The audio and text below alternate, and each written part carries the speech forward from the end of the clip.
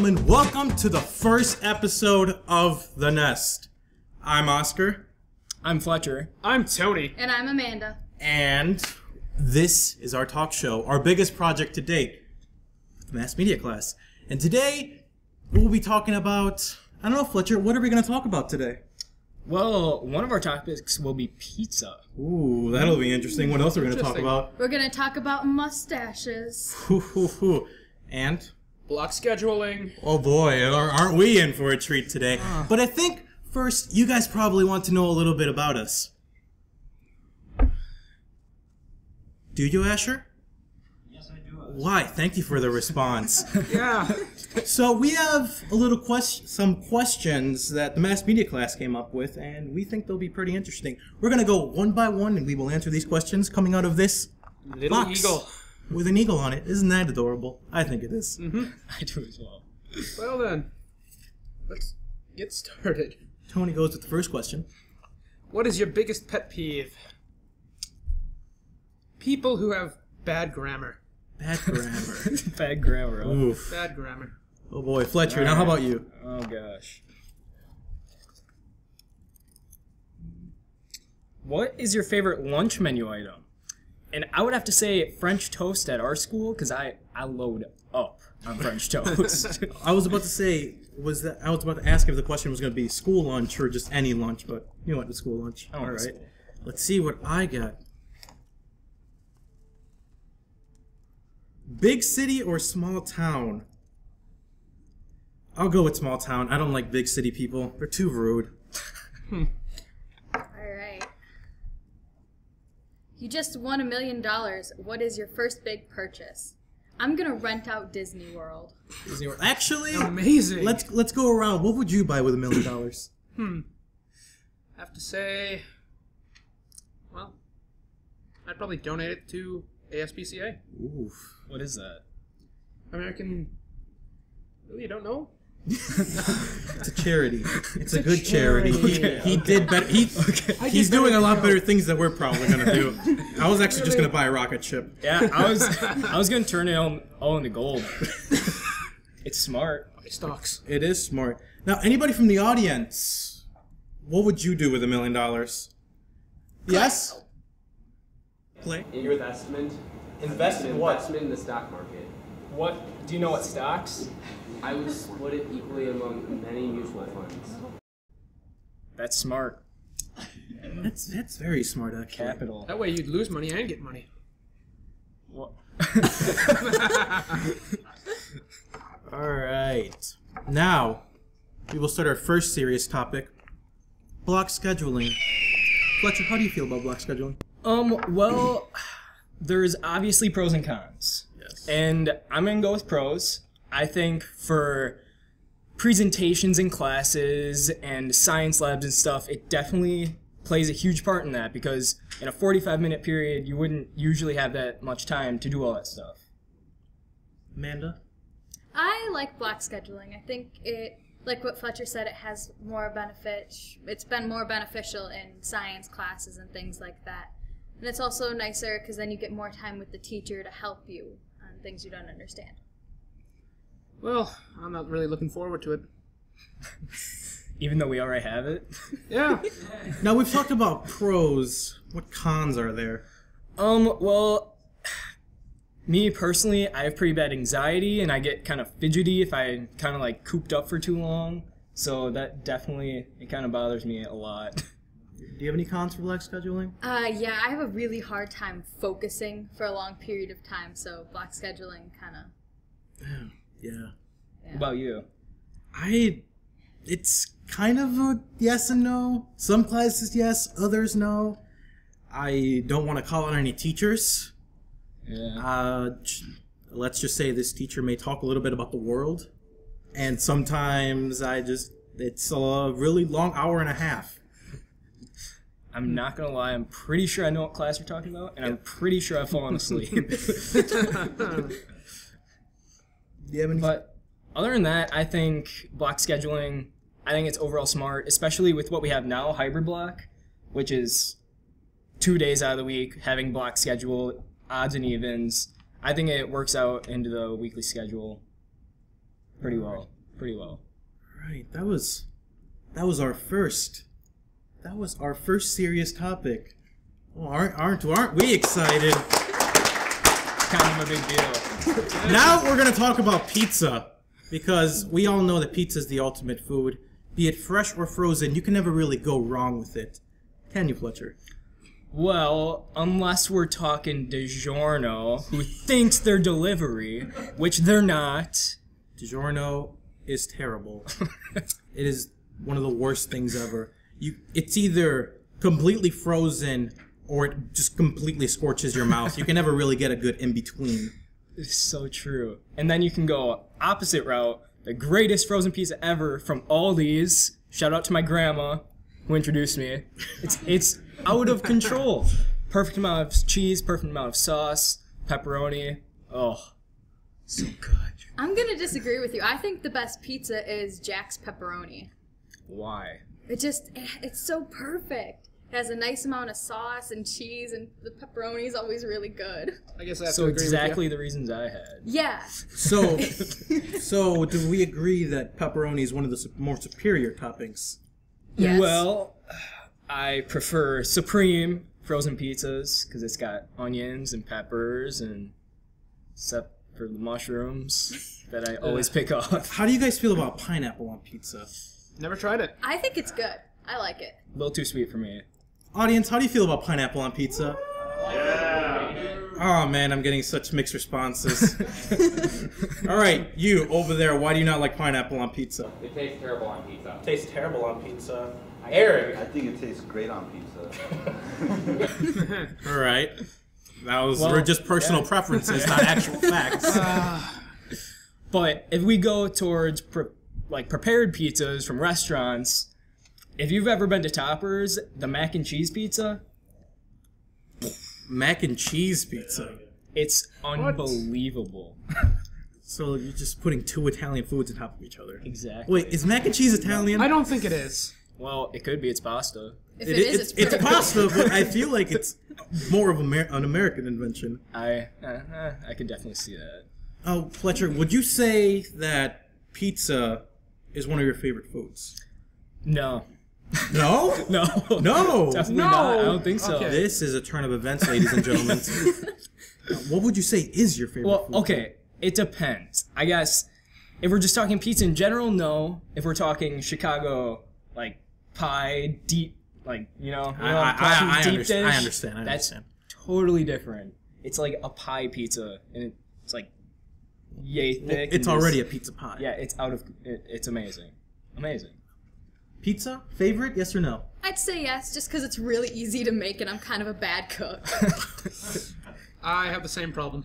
Bad cook or favorite pizza? Bad cook. What is your favorite kind of pizza? Cheese. Cheese? Yeah. All right. Going original. And now that we talked about our favorite foods, our good friend Cody, Cody, Cody's questions, he goes around during eighth hour and takes people out of their study halls and asks them a question. This week, he asked them, if you could invite anyone to dinner, living or dead, what would you eat? And Yeah, would you would you like to answer the question? You repeat it? No. If You must answer it without hearing it again. if you can invite if you can invite anyone to dinner living or dead what would you eat So it doesn't really matter who's there. that was the point of the question a lot of people actually caught on right away We were expecting stumbling. we were like, expecting people more saying, people like People you say Michael what, Jackson. what would you eat? Michael Jackson. we were expecting responses What like that eat? but we Stephen ended up getting a lot of food I would I'd probably say sushi. we, would actually got that response from somebody oh boy and now through the magic of editing we will show some of those answers Hi, I'm Cody. Uh, I'm the host of Cody's Questions. We, during 8th hour, we go around asking questions, just random questions. You get your responses, your answers, and you will then be featured on, on the show. You can invite anyone over for dinner, living or dead, what would you eat? What would I eat? Seafood. Sushi. Steak. Chicken? Spaghetti with meatballs. What would I eat? Um, it'd have to be tacos because tacos are my favorite and everyone likes tacos. So What would I eat? Anyone over? What? Pizza. I would eat a döner. It's my favorite German food. Spaghetti. Gosh. I guess I'd have like a really big turkey dinner with them. Can eat longer. Probably lasagna. Oh, T-bone steak. T-bone steak on the grill for sure, um, with a baked potato. Absolutely. S- steak. It's a nice steak. Oh man. People really like food. Uh, well, that's America. That whoa, whoa, that's true. That's very true. Actually, I cannot tell a lie. Oh man, Abe Lincoln, main man. All right. All right. Well, since we already talked about block, we can go back to enrichment enrichment opportunities, which are during like the homeroom period, but technically the enrichment period. Um, like different kinds of activities that could be happening in the near future. Like Like anything, you could have a Pokemon club, you could have more art classes, you could do sewing, reading, writing, anything. Karaoke Knitting. club. Yeah.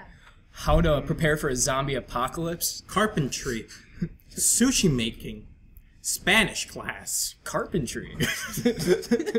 You could talk about your favorite TV shows during enrichment period with other people who are almost as enthusiastic of them about you. or you could have a period where you just watch 1990s cartoons. Or 1990s music videos. You could basically do, if you can think of it, you could probably do it in enrichment. And then other than that, you can get help from teachers or like extra study hall time if you if you really need it. But at the moment, we don't have this. Our enrichments at the moment are just study halls, And or club time. but mostly study halls. And that's very boring. And what would you think if something like this cha- if something like this actually came to the school next year? Um, well, I think I think most of the students will really like it because it gives them the opportunity to do things they want to do. You know? What would you want to do? Um, well, I probably either just have a study hall or like Pokemon Club. That would be awesome. That's what I'm saying. Yu-Gi-Oh! Yu-Gi-Oh. Nah, nah, Yu-Gi-Oh! No, Nah. no, no, no. What, what what would you want though? I would want to learn how to make homemade spaghetti sauce. Oh. Just the sauce. Just the sauce. I could just buy the pasta. What would you like to do, Tony? Uh, karaoke. Karaoke. What kind of music? Please tell me. Hmm. Pop. Pop.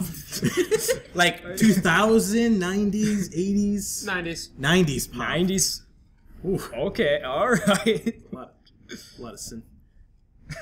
All right. Too much sin. Too much sin. What would the audience, if you had the opportunity to do anything you could in enrichment, what would you want to do? Let's call on Omar. Michaela and I would like to do a dance club. Dance club? What type of dancing? Any kind. Any All kind. Dance Salsa? Dance Revolution? Pop. Breakdance? Crunk? Mosh pit? Gotta be wearing them boots and baggy jeans, you know? No.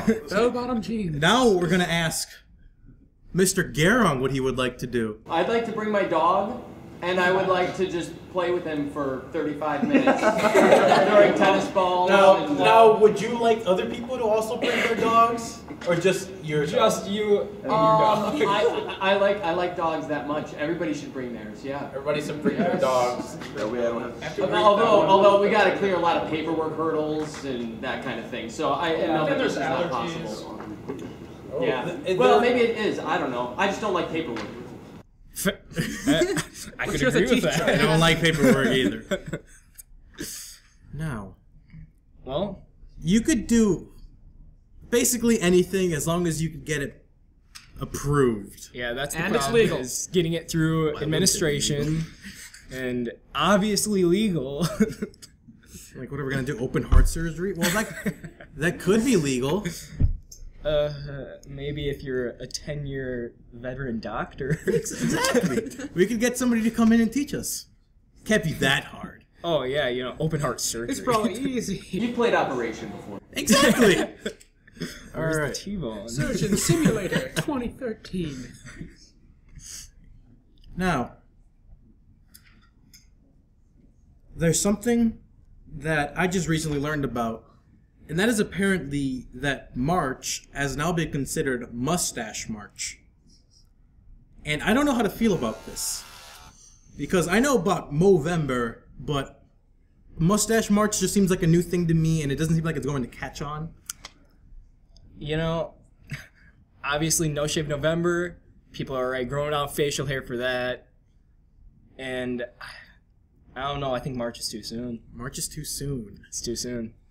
As a girl who is not going to grow a mustache, I I really it doesn't phase me. How do you feel about facial hair? Um, I guess it depends on the person. What if it's like a full grown beard? Well, it depends on if, if the person. It, like, if it doesn't look right, I'm gonna. It's it's not gonna look right. Duck Dynasty beard. I would rather have a huge beard than just like a, just a mustache. it's kind of just like hanging out there, you know.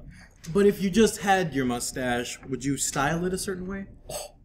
Would I style it? I would. I would get that walrus. I'd get the walrus going. Just a big bush of fur on your upper lip, like Mr. Gorchels. You remember Mr. Gorchels? I remember Mr. Gorchels. Kind of just had that like talk to you while he was talking. Like, hey, Fletch, how's it going? It was like a little gray caterpillar. yeah.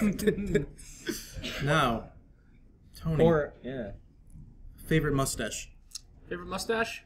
I have to say the chevron. Chevron. Yeah. Please explain it. Well, it's kind of pyramidical at the edges, then it rounds out in the middle. Ha- like a handlebar, kind of. Like a handlebar, but doesn't go down. It doesn't go d- like it just goes up. like That's the Dali. Like Waluigi in Super Mario Brothers. Does it just go out? no, it sticks to your, it stays to your face. It doesn't Oh. leave.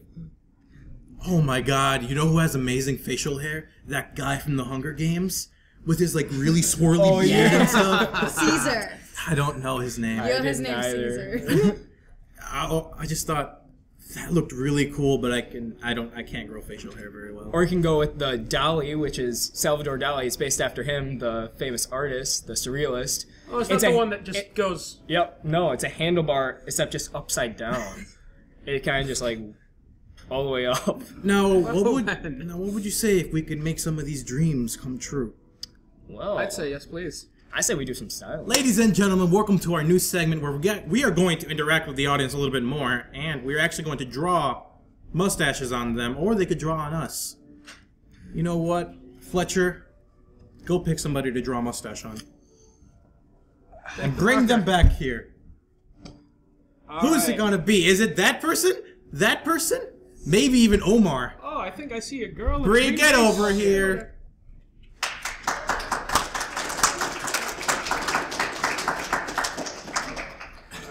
All right. What what mustache? Come a little bit closer in front of the table. Fletcher, what mustache are you gonna draw on this person? Well, I think I'm gonna go with.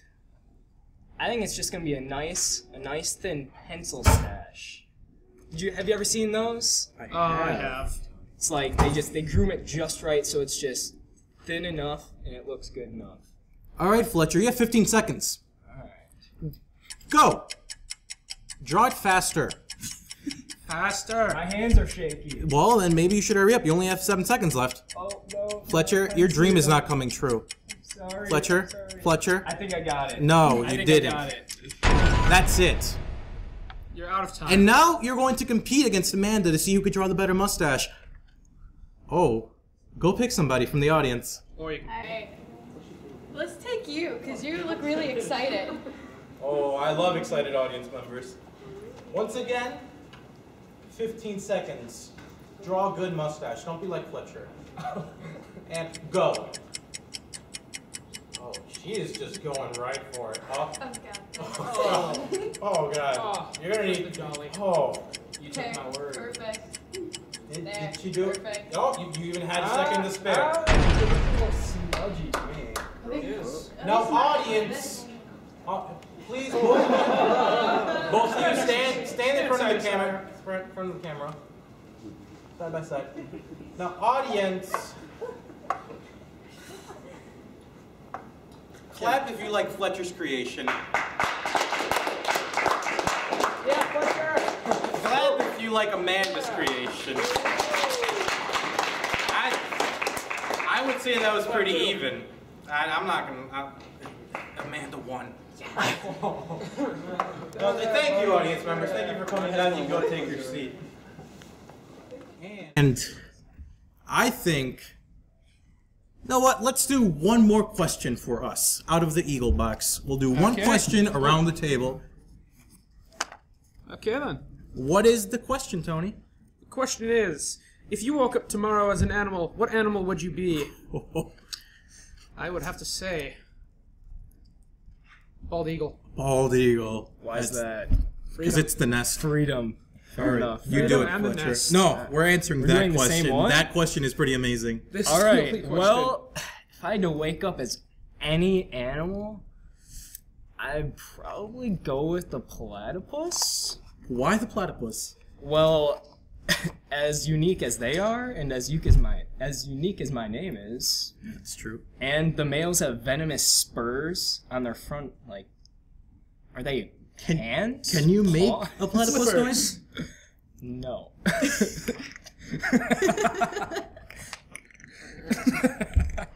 All right. Now, if I had to be an animal, I would be a kiwi. Because you they're mean cute the and New flightless. Zealand? Yes, I mean the bird. I don't mean the fruit. Okay. Because they are adorable and flightless and endangered. I was gonna say, are you worried they're flightless? I know. That's the best part. They're just like a I- big ball of fur with a I little I think beak. they're also. I think they also have. Uh, I think they also have poor eyesight as well. I have poor eyesight too. Poor kiwis. All right, so much Amanda, what would you be? I would be a giraffe because they're my favorite and they're so cute and they're so tall. Have you ever seen them fight? That yeah. Don't they just go at it with It's their Yeah, necks? the male's just like. It's so violent. Oh, That's man. So they're over a majestic. mate, though. Thank you, ladies and gentlemen. I'm Oscar. I'm Fletcher. I'm Tony. And I'm Amanda. And thank you for coming to the next nest. See you tomorrow. Thank you for coming to the next.